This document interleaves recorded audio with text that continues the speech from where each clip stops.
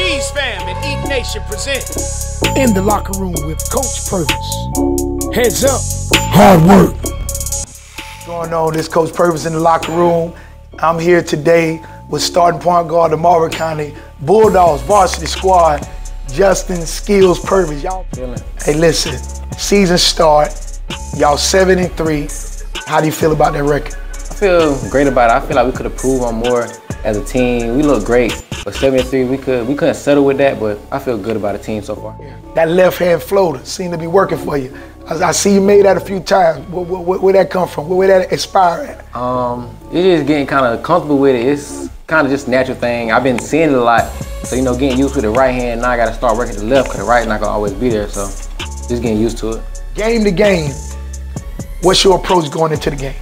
Uh, do whatever I can, just being a leader, help my team get the win, come out successful every night. That's my goal to help my. On the passing, setting them up, scoring, where you at? You kind of everywhere. You trying to fill all them slots, or you got anything particular you trying to? do? Uh, nah, this year I'm just trying to be fill all the slots, be a great leader for my team, do everything I can. That's about it.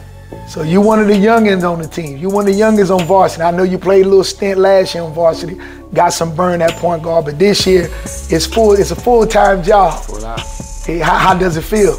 Uh, it feel great. It feel like it's not really a toll. It's kind of it's kind of accomplishment for me because like playing varsity in the 10th grade, it's kind of you know just getting used to it, being a great leader.